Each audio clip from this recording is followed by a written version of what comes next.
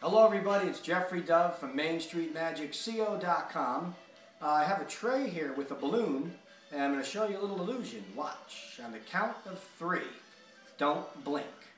One, two, three.